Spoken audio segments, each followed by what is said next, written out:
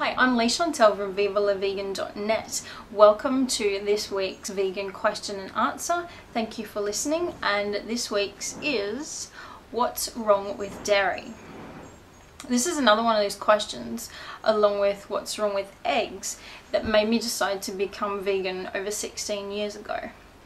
And I find it really, really bizarre um, that everywhere I go around the world, no matter who I talk to, um, whether they're educated, not educated, from a farming background and non-farming background, so many people seem to have no idea that female mammals have to be pregnant to make milk.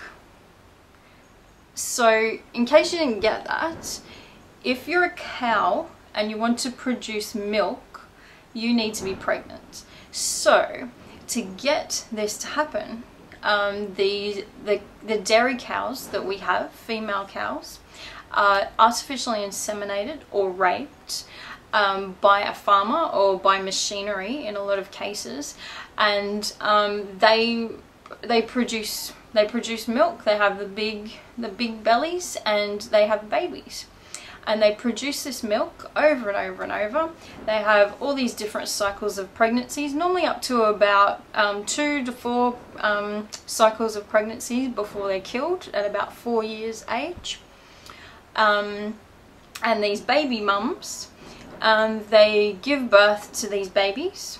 They have a lot of sores, they have a lot of ulcers, they have a lot of problems with um, the, the process of continuously being pregnant and having um, their udders um, being milked all the time.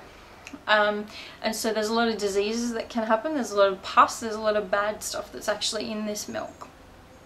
When the babies are born, the baby gets stolen away from its mum. And I'm not a mother myself, but I know a lot of friends who are, and my sister is with child at present. And I can't imagine how I would feel if I had a child and it just got ripped away from me. And um, this happens again and again to these mothers. And what happens to the cows that get, the calves that get ripped away from their mothers? Well, if they're a female, they just go through the same process as their mum has. If they're a male, um, they also, they're deemed worthless, just like male chicks are in the egg industry. This is a gender equality issue as well. And these male calves, they're turned into veal um, or they're sold for pet food. So it, when you're saying that um, dairy, it's not, you're not killing any animals. Like I became vegetarian because I didn't want to kill any animals. You're still killing these animals.